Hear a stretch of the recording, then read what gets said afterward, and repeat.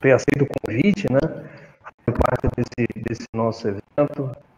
É um evento, assim, eu acho que pioneiro né, na área de, de entomologia. Né? Um evento virtual e focado para editores da área de entomologia.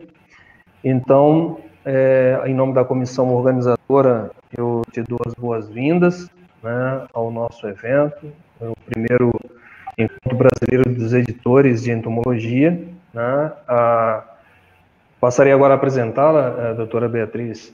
A doutora Beatriz ela é graduada em Ciências Biológicas pela Pontifícia Universidade Católica do Rio Grande do Sul, possui mestrado em Ciências Biológicas e Entomologia pelo INPA, né, Instituto Nacional de Pesquisas da Amazônia, doutorado em Ciências Biológicas, também em Entomologia pelo INPA.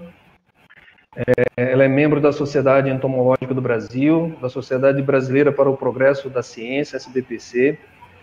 Atualmente, pesquisadora titular do Instituto Nacional de Pesquisas da Amazônia. É, é docente né, permanente dos programas de pós-graduação de Ciências Biológicas, Entomologia e Agricultura do, no Trópico Úmido, ambos no INPA e deixa eu ver se faltou aqui. Uh, participa ativamente do Fórum de Pró-Reitores, né, de pesquisa e pós-graduação das instituições de ensino superior uh, brasileiras, desde 2009. É, se, eu, se falhou alguma coisa, alguma parte da apresentação, eu peço desculpa, doutora Beatriz, a senhora fique à vontade para complementar. Muito obrigado. Obrigada, William, pelo convite. É, é, a minha primeira vez, a minha estreia em, em, em, palestras assim desse tipo, né? Eu gostei até muito, gostei muito dessa sua plataforma. Achei, eu assisti ontem e assisti agora a última palestra aí também. Eu achei muito interessante. Eu acho que eu vou adotar esse sistema com os alunos aqui do IMPA. É, além de ser professora, eu, sou, eu estou agora, neste momento, como coordenadora de capacitação do Instituto Nacional de Pesquisa da Amazônia, que é um cargo equivalente a um pró-reitor de pós-graduação, né? Como nós não somos uma universidade, eu não tenho cargo de reitor, então eu sou como se fosse uma pró-reitor, sou responsável pelos programas de pós-graduação. Então, eu vou dizer para vocês, eu não sou especialista em quales, mas o que eu vou falar para vocês aqui é o que qualquer um pode encontrar nas plataformas da CAPES, em todas as, as, as, as a, a, avaliação, na área de avaliação. Eu vou comentar com vocês o que é o Qualis e o que, é, é, o que acontece com o Qualis na, na, com a, os periódicos e como é classificado e qual a vantagem e desvantagem e, e o que, que vai acontecer no futuro com o Qualis. Tá? Então, deixa eu ver aqui. Vamos passar para o primeiro. Então, a primeira coisa que a gente vai ver é o que é o Qualis. Tem muita gente aí que está assistindo que não sabe o que é o Qualis, eu tenho quase certeza. Né? O que, que é? É uma ferramenta que é usada para classificar a produção científica dos programas de pós-graduação. Tá? Então, é os artigos que são publicados pelos docentes e discentes durante o, o mestrado e o doutorado.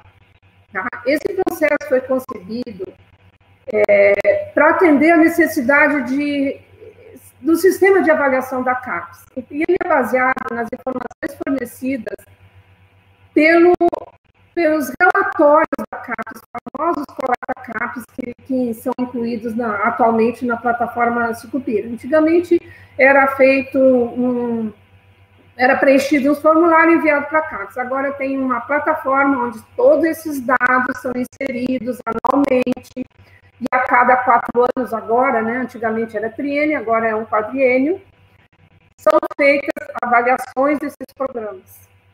Então, o que que essa quantidade de dados inseridos vai gerar? Gera uma lista de periódicos que foram utilizados pelos programas. Então, isso é o Qualis. O Qualis é uma lista de periódicos que, tão, que foram classificados.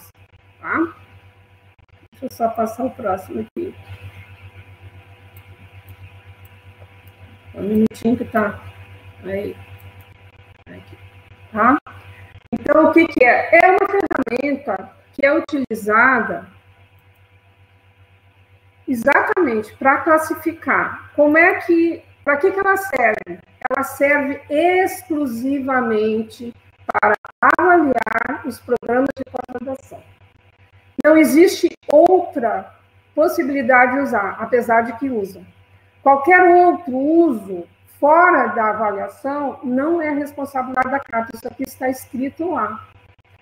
Entende? Então, uh, muita gente usa o Qualis para selecionar bolsistas para outras coisas, em editais de, de, concursos. Isso não é não é para não é para usar o Qualis para verificar isso. É para a avaliação dos programas de pós-graduação, tá? A consulta ao Qualis vocês podem fazer na plataforma é, Supira, tá aí o endereço. Você entra lá e verifica está disponível para qualquer pessoa. Tá? A avaliação da pós-graduação tem, tem sempre o objetivo de que avaliar a produção intelectual considerada qualificada. Como o Sistema Nacional de Pós-Graduação ele cresceu muito nos últimos anos, então aumentou muito o volume da produção tornou-se quase que inviável analisar individualmente todo esse conjunto de, de publicações. E o Qualis entrou para qualificar de forma mais objetiva essa quantidade de produção, né? sempre focando na qualidade dos produtos inseridos, né? das produções inseridas lá na plataforma Sucopia. Essa análise qualitativa ela precisa ser restrita às produções mais relevantes do programa. Sempre faz que o programa, é, quando eles façam a autoavaliação, eles sempre levam em consideração a formação de pessoal e a extensão dos impactos regionais, econômicos, científicos e para a sociedade. Tá? Então, a indicação pelos programas é o que vai gerar o quais. Quando eu falo do programa, são as produções dos docentes e discentes, tá? Então, pode acontecer de uma revista não estar na lista Quadros. Claro que pode. Se, se aquele programa não publicou nada na, naquela revista, naquela área, então não vai aparecer, entendeu?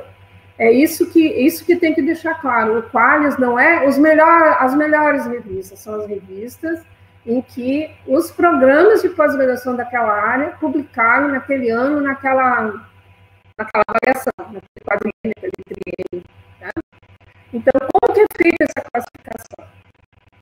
A classificação ela é feita por um comitê, são vários comitês. Na, na, na CAPES, nós temos 49 áreas de avaliação e ela segue alguns critérios. Cada área tem um critério, e esses critérios são aprovados pelo CTC, que é, o, é o, a Comissão Técnico Científica do Ensino Superior da CAPES. Ela aprova e aí as áreas começam a usar.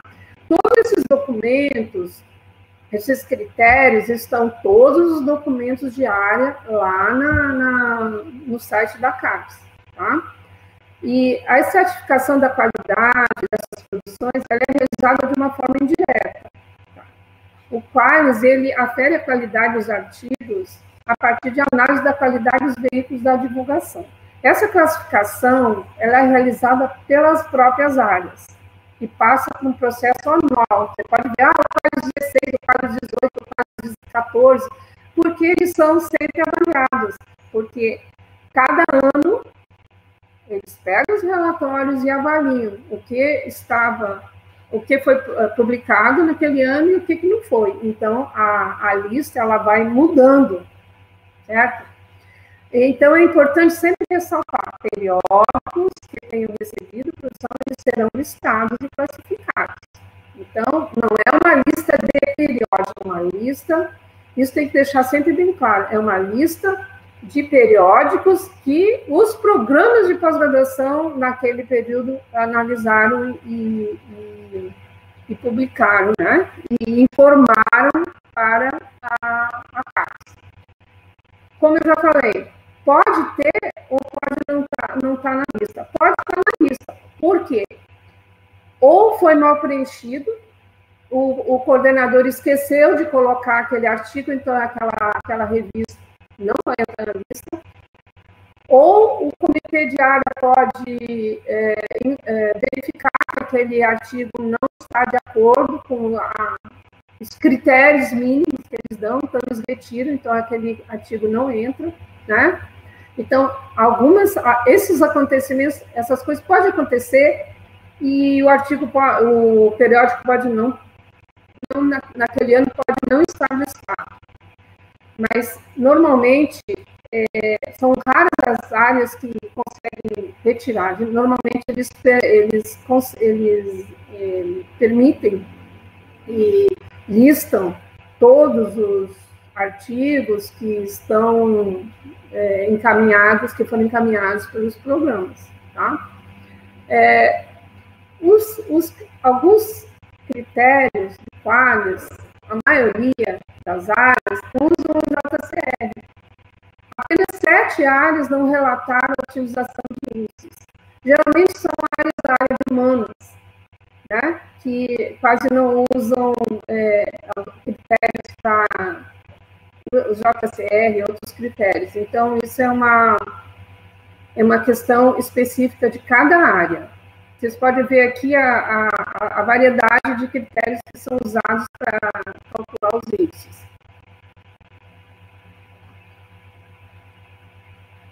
Algumas áreas. Opa, acho que passou dois.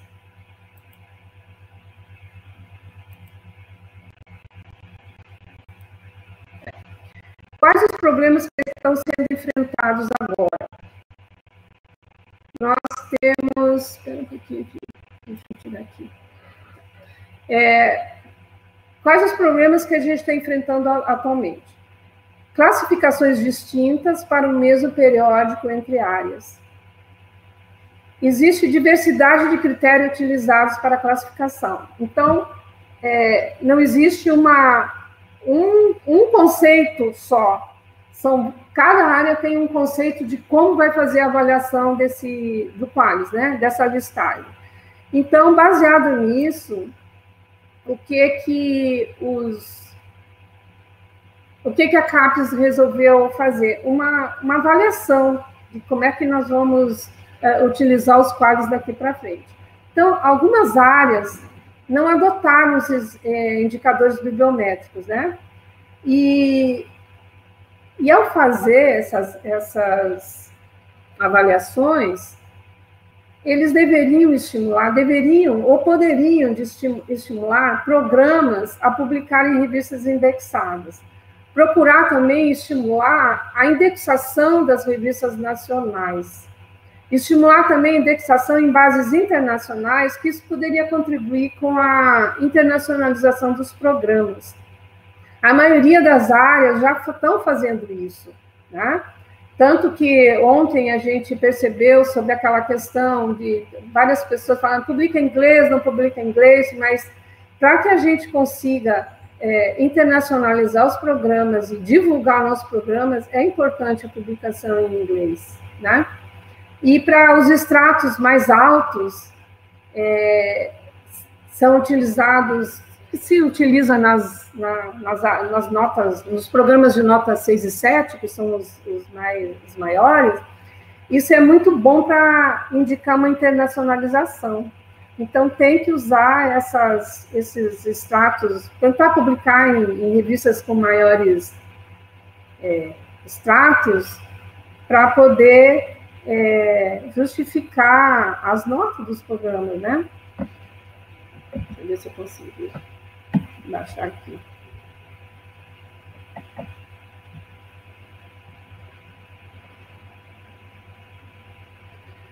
O cálculo dessas, desse qualis referência, normalmente ele é feito baseado em três índices, né?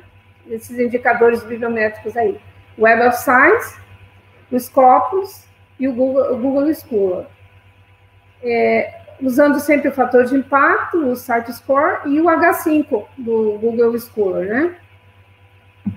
Para fazer os cálculos e, atingir, e chegar à nota do, do, do periódico.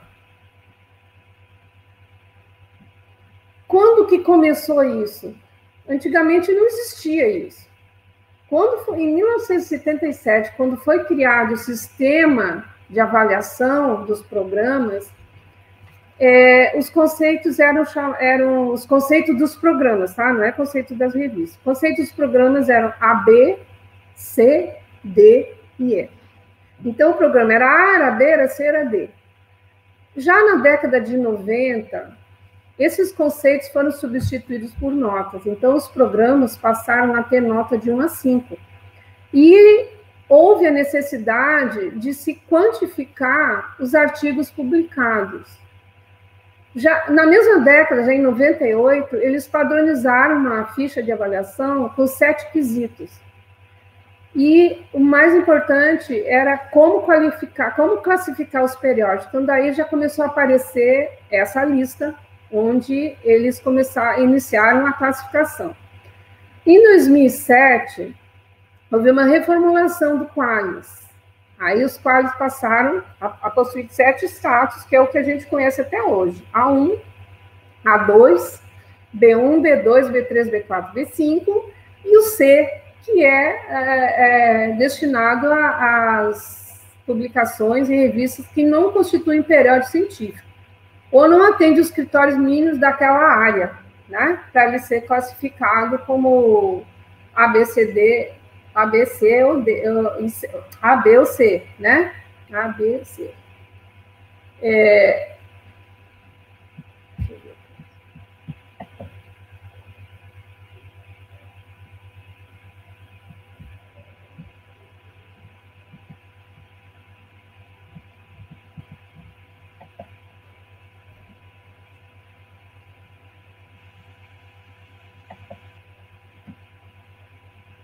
minha internet está um pouquinho lenta, dá para perceber, né? Que demora para entrar um slide e outro. Então, em 2018, a diretoria de avaliação ela iniciou um estudo para aprimorar esses instrumentos, né? Para ver como que poderia é, modificar ou melhorar a, a, a utilização desses, desses, desses índices, né? Para qualificar o, o Qualis. Então, ela formou uma comissão especial de acompanhamento para é, verificar, aliás, uma, um grupo de trabalho, né, que baseado no que a comissão especial de acompanhamento decidiu. Decidiu, não, sugeriu. Eles sugeriram algumas coisas que eu vou falar lá no finalzinho do, do da palestra mas é, criaram esse grupo de trabalho para fazer uma, um estudo de como se faz, como que melhoraria o Qualis, ou ou melhorar, ou como avaliar, ou como calcular. Então, em 2019, essa comissão apresentou uma nova fórmula que busca critérios mais objetivos, né, para poder comparar e ter uma, uma, uma uma avaliação que leve para a internacionalização e que seja mais equilibrada. Essa, esse resultado dessa comissão é, mostrou uns cálculos e umas maneiras de você chegar a um qualis único. Como que eles, eles, eles pensaram? Uma classificação por periódico. Quer dizer, o periódico ele teria uma classificação só. Seria atribuído a uma área-mãe. O que, que é uma área-mãe? Área-mãe é onde esse periódico é mais é, utilizado pelas áreas, a partir de um qualis referência, baseado nesses indicadores bibliométricos. Então, é, a área-mãe ou as irmãs também tem a parte da, da depois eu vou mostrar um, um artigo, um, um gráfico que mostra mais ou menos como que ficaria essas áreas mães, em aonde que as áreas de, de avaliação da CAPES estariam inseridas, e aí seriam colocados os periódicos nessas áreas mães.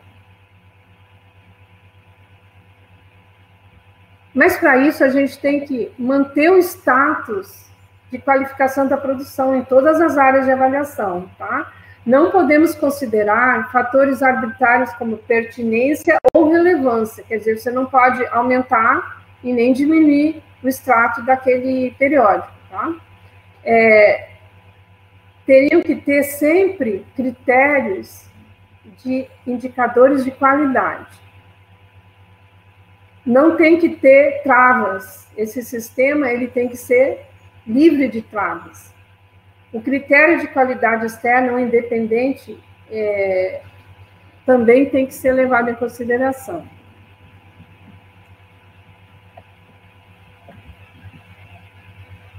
O modelo indutor dessa, dessa internacionalização é, reflete na indexação dos periódicos. Por exemplo, se, é, se o periódico é todo em inglês, então ele é um, um periódico que pode ter um, uma procura maior do que um que só está em português, porque você consegue mostrar mais o seu, seu trabalho.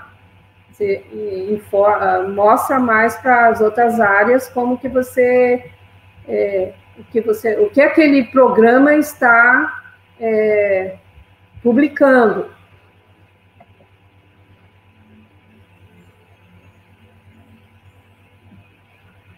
Então, esse quadro ele mostra como que eles é, definiram o, o agrupamento dos periódicos. Os periódicos com percentil acima de 99, eles vão ficar, eles vão ser os melhores, vão ter os melhores indicadores. Eles ficam no grupo de 1% da amostra que tem os melhores indicadores. E os periódicos com percentil igual ou abaixo de 1, estão dentro de um grupo de 1% da amostra que detém os piores indicadores. Então, o cálculo todo é feito baseado em percentil, onde vai ter a distribuição dos, dos, dos indicadores. Então, essa nova proposta, ela tem quatro princípios básicos. O primeiro é a classificação única. Cada periódico recebe uma qualificação independente da quantidade, da, da quantidade de áreas de avaliação que foi mencionada.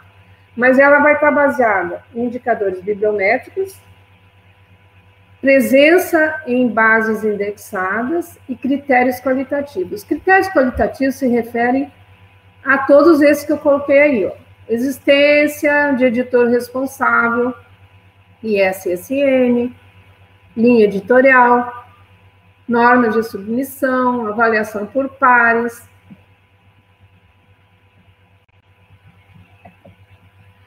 É, resumo palavras-chave, título em português e inglês, disponibilidade online, e periodicidade, e aí, aí vai.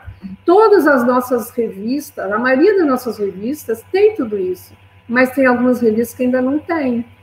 Então, isso é um dos pilares para é, ser classificado, para entrar na classificação única. A segunda é a classificação por área mãe, aquele que eu falei para vocês. Os periódicos foram agrupados de acordo com a área na qual houve maior número de publicações pelos, programas, pelos programas de pós, naquele ano ou naquele quadriênio de, de avaliação, né? Então, isso seria chamado área mãe. O terceiro seria o qualis, o qualis referência, que é o, a utilização desses indicadores bibliométricos em um modelo matemático que a própria a diretoria de avaliação montou a lista de periódicos, né? Então ela chamou de qualis referência baseado nesses indicadores. E esses indicadores, que é o quarto pilar, é, são os considerado o número de citações dos periódicos nessas bases aí que eu já falei, da Scopus, Web of Science e o Google Scholar. É, sempre levando em consideração a categoria da área, tá? em que se enquadra o periódico.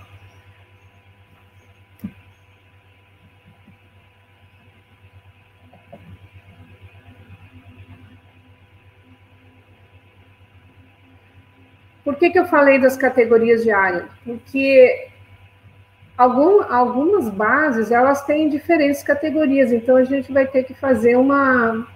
Tem que levar em consideração isso, ó, as categorias. Web of Science tem 235 categorias, o Scopus tem 27 grandes áreas, mais ou menos 300 categorias. Então, isso é, vai, vai a, fazer, fazer um, uma fazer com que a gente tenha que fazer os cálculos e, e, e normatizar isso aí.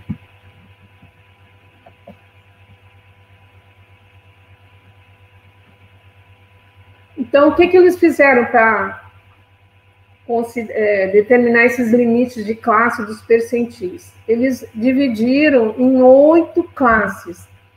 Calculado, não me perguntem como que foi feito isso. É, eles calcularam um intervalo de 12,5% e dividiram os estratos, os percentis, assim, é, divididos em, dois, em duas categorias, A e B. Os que estão acima de, da mediana são considerados A. Os que estão abaixo da mediana, considerados é, B, tá? Os periódicos classificados nos quatro estratos são aqueles com percentis acima da mediana e o B abaixo da mediana. Eu já expliquei. É, então, por exemplo, se o, o, o, vamos dizer, a Nature, a Nature vai estar com um percentil, vamos dizer, 200 e não sei quanto. Então, ela vai estar na, no extrato acima de, de 85, né, 87. Então, ela vai, estar no, na classificação A1 e assim por diante.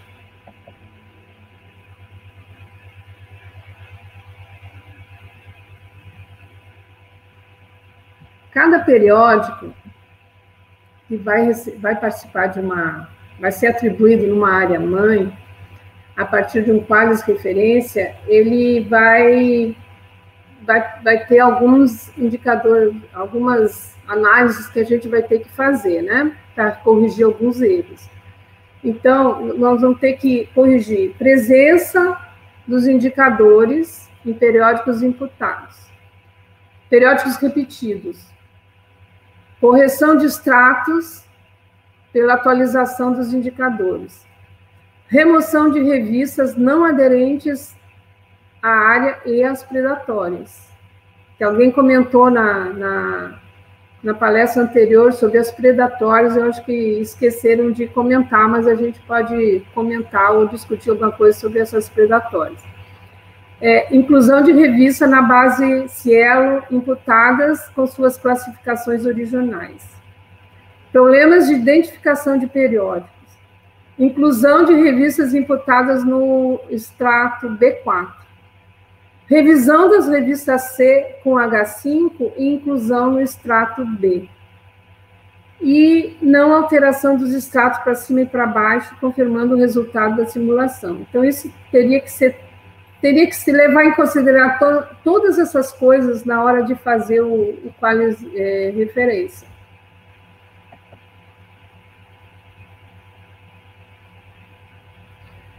Para o triênio 2017-2020, é, em um mesmo período, terá de levar uma classificação com base na área em que tiver tido maior número de publicação. Então, se numa área, é, um periódico teve uma publicação, numa, por exemplo, numa avaliação, é, se publicou muito na Zotaxa, no outro ano se publicou muito na Revista Brasileira de Entomologia. Então, a, a, aquele periódico, naquele ano, ele vai estar na área mãe tal, na outra ele não vai estar, porque ele não, não foi considerado. Vai que, isso é um, é um, é um, não vai acontecer, né? Mas eu estou dando um, um, exemplo.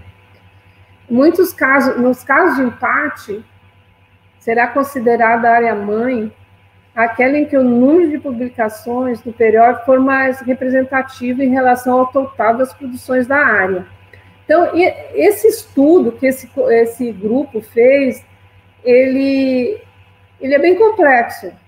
Até a gente entender como que vai ficar é, essas publicações e quais as que vão entrar, quais as que não vão entrar, ainda vai ter que ter muita simulação e muito estudo para a gente chegar a uma conclusão de como que vai ficar isso. Outra coisa que a gente tem que fazer é evitar valorização excessiva de periódicos considerados da área em relação aos que seriam considerados fora da área. Então, as áreas, as 49 áreas, elas precisam levar isso em consideração, porque vai ser um periódico, vai ser um qualis único, vai ter uma nota única. Então, isso vai, vai, vai implicar em, em realmente levar em consideração essa valorização excessiva aí. Verificar se os periódicos considerados estranhos à área não seriam veículos de produção de programas interdisciplinares que estão na própria área. Então, isso são algumas áreas vão ter que levar em consideração isso. Outra coisa, classificação como C ou rebaixamento né, da classificação de periódico deve ser coerente com os critérios da área e não deve ser praticada indiscriminadamente, com base em argumentos de não aderência. Então, as áreas vão ter que levar em consideração todas essas questões. O GT recomenda que não seja usado o fator de impacto diretamente quando a área possui sub-áreas ou especialidades, verificar a possível adoção de ajustes e norma, normalizações, com o uso de medianas, tá? Então, e, e, algumas áreas, por exemplo, poucas áreas, e a, o de cima, que são duas exceções, geralmente são nas áreas humanas que vão levar, que vão ter que fazer esses tipos de, de, de avaliação. Tá? Como que vão considerar é, os periódicos dentro dessas novas classificações.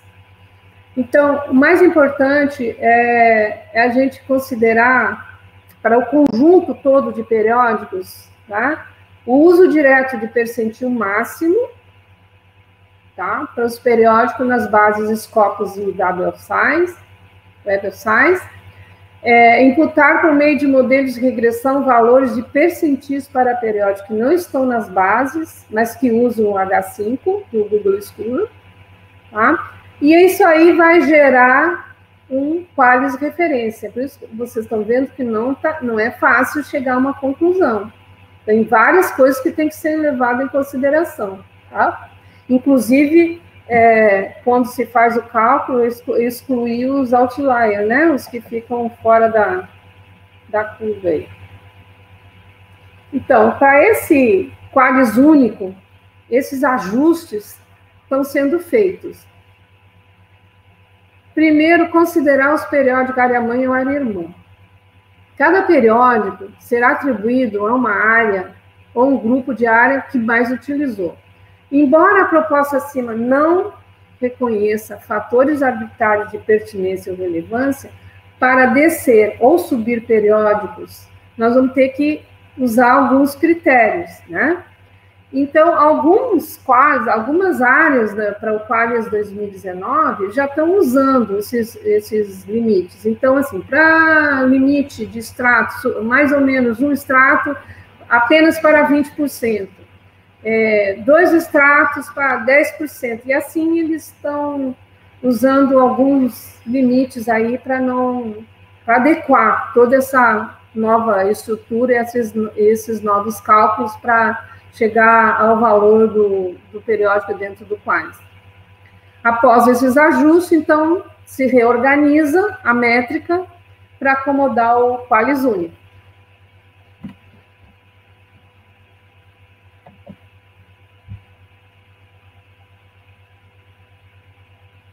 Este gráfico aqui, essa, vocês conseguem ver como que eles dividiram as áreas, as 49 áreas, dentro das, das possibilidades de distribuição. Por exemplo, vocês podem ver, as primeiras aqui é a área de humanas, depois já vai para as engenharias, química, física, e no finalzinho, vocês vão observar aqui, biodiversidade, ciências ambientais e ciências agrárias. As revistas de entomologia, elas ficam mais é, na área de biodiversidade e ciências agrárias, porque os programas de entomologia, eles estão dentro dessas duas áreas. Então, as revistas elas vão ser é, calculadas dentro das, dos, dos, da, das áreas de biodiversidade e ciências agrárias, é, de acordo com os critérios daquelas duas áreas.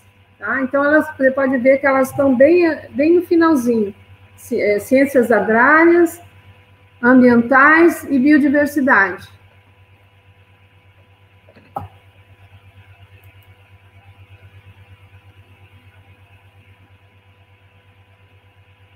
Então, como eu falei, os quatro principais, os quatro princípios que nortearam esse novo Qualis são a classificação única, que é a classificação dentro de uma área, uma, uma nota só para todas as áreas, é, classificação por área mãe, os periódicos foram agrupados de acordo com o maior número de publicações daquele, daquele ano, né, daquela avaliação, o Qualis Referência, que utiliza esses indicadores bibliométricos e um, um valor, um modelo matemático para chegar a, uma, a um Qualis, a um valor. E os indicadores que são basicamente aqueles que eu já falei, que é Scopus, o Web of Science e o Google Scholar, né? Levando sempre em consideração a área que cada base enquadra o periódico e a sua posição dentro dela. É, uma coisa que uma coisa que eu gostaria de mostrar para vocês aqui para a gente repensar um pouquinho. Ontem eu encontrei esse artigo aqui que é um pré-print que está disponível lá para fazer a avaliação. O que que ele qual é a conclusão desse trabalho? ele diz assim: no geral, os achados aqui documentados sugerem que o sistema Qualis tem minado o impacto global da ciência brasileira e reforça uma recomendação recente de um comitê oficial que avalia programas de pós-graduação para eliminar o Qualis um sistema de classificação de revistas baseada em métricas de impacto reconhecidas internacionalmente poderia evitar a introdução de incentivos distorcidos e assim impulsionar o impacto global da ciência brasileira. É essa é a conclusão desse trabalho. Ele está aqui, ó, tem a referência e tem, eu, é, eu recomendo vocês lerem esse, esse trabalho. Ele, essa essa, esse resultado está de acordo com o resultado deste comitê. Esse comitê, que é a Comissão Nacional de Acompanhamento do Programa Nacional de Pós-Graduação 2011-2020, que está acabando este ano, é, é um comitê que foi criado para verificar como é que está sendo desenvolvido esse Programa Nacional de Pós-Graduação. E eles comentaram e falaram: sistema avaliativo deve ser conceitual e objetivamente repensado e aprimorado. É, a avaliação deve atentar para a internacionalização e contribuir para o aperfeitamento do Sistema Nacional de Pós-Graduação com indução da qualidade. Então, é qualidade e internacionalização. Quanto ao Qualis, são critérios pulverizados entre as áreas, talvez essa é a razão de relativa fraqueza de algumas áreas. O que que esse comitê chegou à conclusão sobre o quadro? No finalzinho desse relatório, eles colocam algumas propostas complementares como sugestão de, de modificação ou de, de para levar em consideração se é possível fazer alguma mudança no sistema de pós ou não. Então, vejam lá o que, que eles dizem. A comissão entende que o Qualis cumpriu seu papel importante para a qualificação da produção da pós-graduação. Dados os novos recursos e funcionalidade nos instrumentos de TI, a consolidação de banco de dados surgidos no tempo entre a última avaliação trienal e este momento que se aproxima da segunda avaliação quadrenal e a maturidade alcançada no Sistema Nacional de Pós-Graduação, temos um novo contexto. Nele, a avaliação da produção em cada área de avaliação deve se dar a partir de métricas internacionais estabelecidas e amplamente aceitas na comunidade. Neste sentido, a comissão propõe a extinção do Qualis a partir do próximo ciclo avaliativo 2021-2024. Então, eu coloquei isso no final porque a gente precisa refletir como uma provocação para a gente discutir sobre o Qualis, né?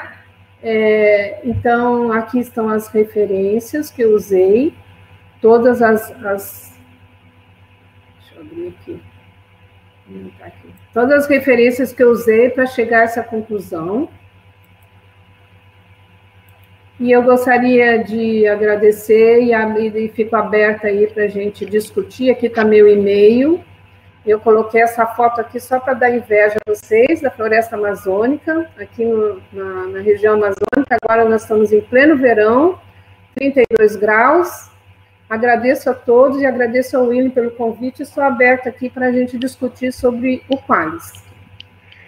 Ok, obrigado, doutora Beatriz se ela consegue me ouvir? Consigo. Ah, tá ótimo. É, nós temos algumas perguntas aqui, eu vou é, passar a ler. É, uma até já, inclusive, é, vem contra eu com, com a, a, como é que se diz, a, a última slide que você apresentou, né, que do, do, do Jonathan, ele... Vê se. Melhorou?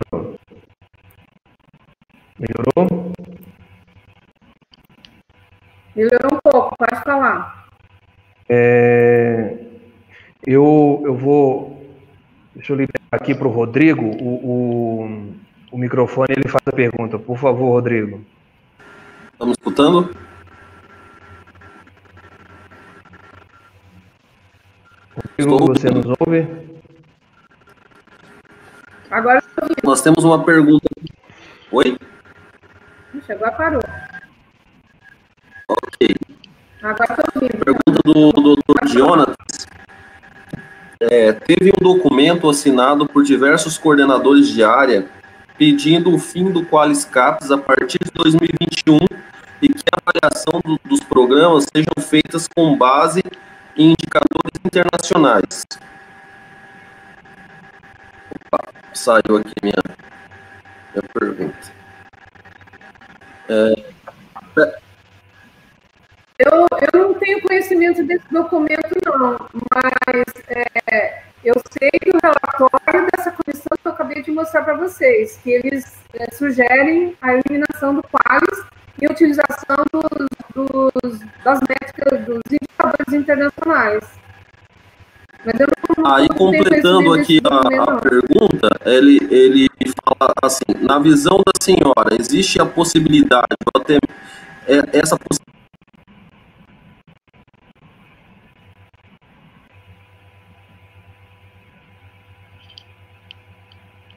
Acho que está falhando, Rodrigo. Está então, é, tá falhando. A possibilidade de. Deixa eu tentar recuperar aqui. É, na visão da senhora, existe a possibilidade ou até mesmo é, voltar a ter um quadro por área? Pois é, é, a recomendação dessa comissão é que volte a ter um, um por área, mas com indicação, com assim, que os, os periódicos sejam avaliados por área, mas que não, não exista o entendeu? O Qualis sai.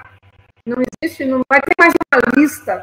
Essa é a indicação de que é, seja eliminado o Qualis, que a, as revistas sejam avaliadas é, por área e cada área vai ter a sua, sua maneira de classificar.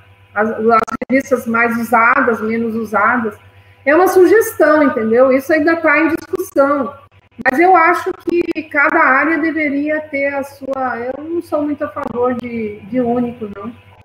O único fica muito, muito frio assim, né? Cada área tem a sua especificidade. Como é que você, você viu naquela tabela lá, a área humanas e áreas, as áreas duras e as áreas biológicas, exatas, biológicas, estão bem separadinhas. Então, é possível você fazer essas, essa classificação por área. Perfeito. É, vamos ver se tem mais alguma pergunta aqui. Bom, é, eu acho que, é, caso tenha alguma pergunta, doutora Beatriz, poderia, é, se a senhora não se incomodar, é, a gente encaminhar para a senhora, se a senhora responder, ou a pessoa pode encaminhar para o seu e-mail, teria algum problema? Pode, eu botei meu e-mail, coloquei meu e-mail, pode mandar e-mail, eu, eu respondo, inclusive eu posso até colocar mais, mais alguma informação sobre a sobre quais, o que, que a gente deve imaginar que vai acontecer, né? Porque isso está tudo em estudo, ainda não está definido como que vai ser avaliado. A comissão, isso tem que ser aprovado pelo, pela CAPES, né? Então, algumas informações estão aprovadas, outras não. Ok. É, doutora Beatriz, eu, é, a gente poderia disponibilizar no site da revista a apresentação? Em PDF? Tudo bem, pode, pode colocar. Ah, obrigado. Doutora Beatriz, não havendo aqui mais é, perguntas, queria agradecer é, imensamente, a, mais uma vez, a senhora ter aceitado o, o convite. Né? É, com certeza a gente sai daqui com outra visão sobre o Qualis, né? uma visão é, de quem é, vivencia isso no seu, no seu dia a dia, né? como, como coordenadora de, de, de curso, como é, a participante ativa né? dos, dos é, é, do Fórum de Proretores, e em nome da comissão organizadora né, do evento, né, do First, Brazilian Editors, é, perdão, First Brazilian Entomology Editor Meeting, né, agradeço a sua, a sua participação, a sua presença, a sua palestra, ela foi sem sombra de dúvida, volto a repetir, um, um novo norte para que a gente possa enxergar né, de forma diferenciada o que é o, o, o Pares. E é, mais uma vez agradeço a todos a presença. Gostaria que a senhora, é, vou abrir para a senhora fazer as suas considerações finais, por favor. Então, William, eu te agradeço e me coloco à disposição aí para quem quiser saber alguma coisa, ou quiser vir conhecer o IMPA. Nós estamos aqui, vamos abrir o, nossa seleção para o programa de pós-graduação em entomologia. Se alguém tiver interesse, é só me contactar que eu já passo as informações, tá bom? Obrigada a todos e boa tarde. É, boa tarde. Convido também, é, doutora Beatriz, para assistir a próxima palestra, que é do, do, do Manuel, já está na outra sala. É, a gente vai para lá, né? Eu convido a todos também que vai para lá. Eu vou encerrar aqui a transmissão e aguardo vocês na palestra uh, do nosso, do professor Manuel. Doutor, tá, doutor Manuel. Muito obrigado tá mais uma Obrigado. vez.